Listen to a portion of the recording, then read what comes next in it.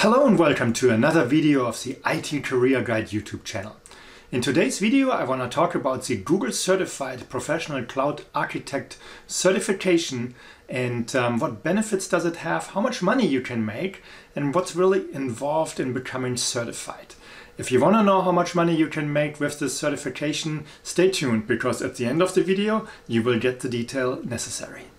So what is the Google Certified Professional Cloud Architect certification all about? First of all, the Google Cloud Platform is one of the fastest growing cloud services um, offered today. Um, it's a competitor directly to Amazon's AWS or to Microsoft Azure. There are a couple of smaller cloud offerings, but um, Google, Amazon, and Microsoft, those are the big players, and um, they all have their own certifications. And uh, this certification specifically was um, established in 2017. Google decided to really take their cloud services to the next level. And uh, one of these steps necessary is really compare, make it comparable to what Amazon or Microsoft offer. And um, so besides the technical solution and the capabilities and how those compare, it's also um, who can support this environment um, who can help the Google customers to get the best value out of it. So Google really took a close look at the job market around it, at the services around it, and then also identified, okay, we probably need to work with certification so that people can establish the trust to potential employers by showcasing that they have achieved certain certifications. And that was really the birth of the Google Certified Professional Cloud Architect. In any of the major cloud services, again, be it Google, Amazon, or Microsoft, customers can run their own applications and data workflows. Uh, they can run virtual machines. Uh, they can run their entire infrastructure um, of these cloud services. And um, accordingly, there's a lot of importance on uh, being able to design it correctly, to uh, structure and build it correctly so that when these customers go into production with their services or use it to run their company, um, that there is the right personnel behind it. And these certifications here really show the value and prove that the individual holding that certification is indeed a specialist in the specific technology. This was the information related to the cloud services. Now we want to take a closer look at the actual certification and what value does it provide. So the uh, Professional Cloud Architect exam uh, really takes a couple of key approaches. First of all, they want to make sure that you know how to design and plan a cloud solution architecture. They want to know that you are able to manage and provision the cloud solution infrastructure. And then, of course, any offering in a cloud service needs to be secured. So information security and compliance, those are critical pieces. And again, this is a key item for the certification. And then when you take an on-prem solution of some sort and move it into the cloud, the Google Certified Professional Cloud Architect exam is really verifying that you are able to get the right information, identify really what is needed to lift and shift a solution, a service, or a product from an on prem or from a competing cloud service into the Google Cloud. And again, that's a key item that this exam will um, test you on. And uh, when you pass this, um, everyone can be sure that you are the right person to do the job. And then, of course, anything that is built, designed, planned, lifted, and shifted into the cloud needs to operate at a certain point. So the cloud architect plays a really important role because if whatever he or she designs, builds, implements, lifts, and shift is not uh, really ready for production or is very difficult to maintain and to be supported, um, it's a disservice to the customer. So the exam it, itself goes after this specific skill set so to make sure that any type of solution that you architect can be managed, runs reliably, and is um, easy to maintain. Easy, I don't necessarily want to say there is a certain complexity, but um, that it's a solution that can operate in a production status. So the uh, Google Certified Professional Cloud Architect exam um, is not an easy one. So first of all, the exam goes for about two hours. There's a registration fee that you need to pay in advance of about $200. It is offered in uh, English and Japanese. The format is multiple choice and you can do it either from remote um, or from a test center. there are no prerequisites that you need to meet. Um, I mean, other than learning the material and uh, knowing your stuff. Uh, the recommended experience, though, is at least three years of industry experience plus one year experience designing and managing solution, uh, managing solutions uh, inside the Google Cloud all common cloud services provider have their environment specific knowledge that you need to acquire. So if you come from Amazon and you go to Google, some portions will overlap, but there is some Google specific knowledge that this person needs to know. And that's really the recommendation by Google for the certification that you have at least one year experience um, with the Google Cloud. Ideally, you probably want to have a little more, but um, it's, it's a, a recommendation, it's not a requirement. So don't freak out when you see this.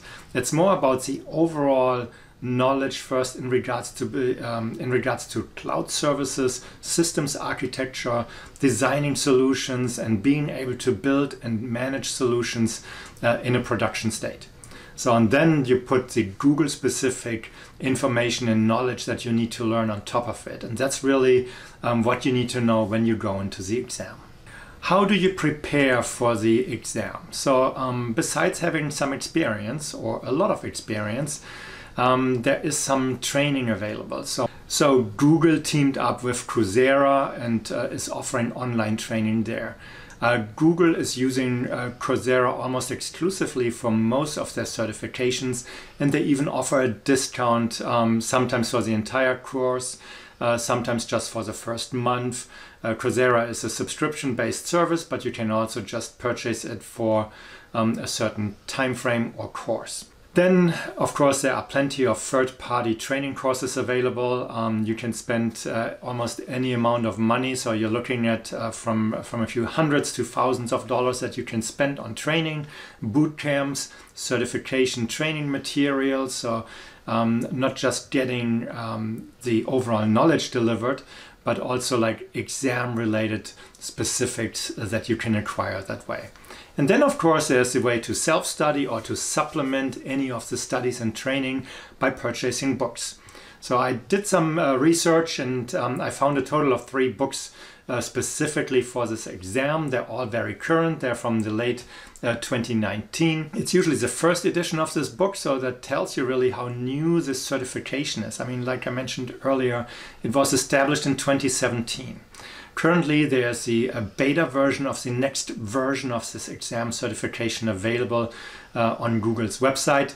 Um, they offer a lower price in that specific um, beta exam, but uh, you can go for that one or you can go for the regular one. If you pass, you will be certified and um, you will get to the same goal. So um, I will put links to the um, Amazon uh, product pages for these books down below. Those are affiliate links, so I will earn a small commission in case you purchase the books uh, through my affiliate links. There's no cost associated with you, but I want to make sure that you know that I'm really transparent here. So now um, we're coming to the really important question that you're all waiting for potentially. How much money can you earn when you become a Google certified professional cloud architect? And there are different numbers floating around, so I have to be a little vague, unfortunately. But I think it also depends on really what is your overall experience. So, and um, the numbers probably give you a good idea. And of course, the other thing that is missing is really where in the United States are you located? Are you living at the west coast where it's really expensive? Are you living somewhere in the middle where it's a little cheaper, or down south where it's really cheap, or in the um, eastern uh, seaboard area from uh, Washington DC going all the way up to Boston? So there are definitely variations um, possible. Even the highest number that you will see here might not be the ceiling.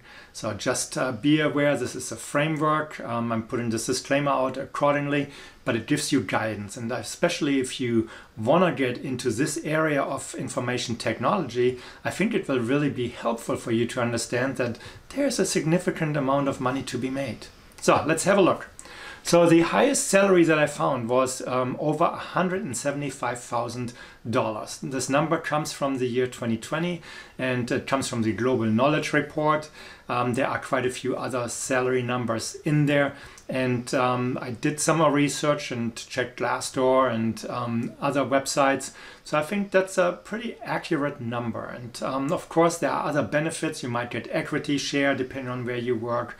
Uh, so take this with a grain of salt. But that's from a salary perspective for 2020, the average salary that uh, the Global Knowledge Report has recorded.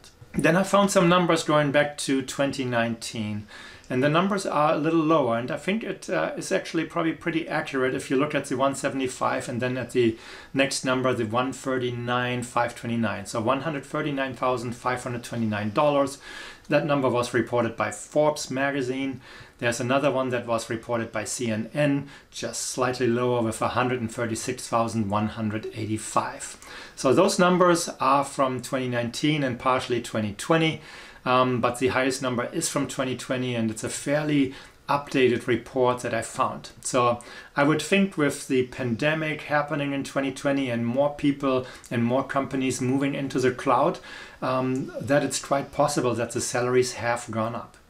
Then for 2021, I found one other number, and it was really more from a job listing that I found on Simply Hired. So there was um, a job listing for this specific job title and position, and the salary range was listed as 110,000 to 160,000. I did not do any research where that company is. I did not pay any attention to the details. This was really just okay, let's take this number, throw it into the mix, and then really compare those numbers. And I think that's really the value, hopefully, that you get out of this slide here. So um, there's a range and the range depends on where you live, what's your experience level, what is your overall background in IT, and um, what is your college degree potentially. So, which industry are you working in? So, and I think that's really um, very helpful. And even 110 is a great salary depending on where you live in the United States. It might not be as much worth in Palo Alto compared to Birmingham, Alabama. But in general, just knowing that there is this range, I think provides a lot of value. So when you walk into a job interview and you get asked what your salary expectation is, that you can provide a range. So some final words in regards to um, the specific uh, certification and the related job behind it. So currently cloud and information security are the hottest areas in information technology. So you can expect that those salaries increase with a slightly above average level compared to normal jobs in IT. And normal I put in quotes. Again, there is nothing such as normal, but if you look at the standard jobs in infrastructure or uh, systems architecture. Be aware when you become Google certified or Amazon AWS certified or Microsoft certified, you're putting yourself a little bit into the corner with this vendor. So you're locking yourself a little bit into that corner, and that's not necessarily a bad thing. So there is a lot of value for people that are highly specialized on these platforms. And there's a lot of more money to be made and a lot of exciting work to be done on projects and services. Where you might have difficulties if you want to go from a vendor that works with Google, a company that works with Google, to a company that uses Microsoft Azure or Amazon AWS. While the basic foundation, your, your foundational knowledge for cloud is the same that you can carry over. The environment specifics lock you in a little bit and tie you to Google, Amazon, or Microsoft, but not the other. So if you want to switch from Google to Amazon, um, you have to expect that you have to relearn quite a few things. Um, even if you go for the exam for Amazon AWS, architecture, um, yeah, you will face new challenges and get questions that you have never seen before. The same thing here then in regards to how many open positions are there or how many positions in general. Um, it's a smaller number of positions, but the advantage is also these are very challenging certifications to achieve. So the pool of people with that certification is significantly smaller. So you will have less competition, but you're also competing for a smaller number of positions. So just be aware, and hopefully you're planning for the long term. Um, and really then get the benefits of being with a company for a long time, acquiring more knowledge, becoming really, really specialized, and pushing up your value as well so that you can earn more money. So, that is it for this video. I hope you liked it. If you liked it, please give it a thumbs up. If you have not subscribed to my channel, please do so. I really appreciate it. And then I hope to see you in my next video. Thank you for watching and have a great day. Bye bye.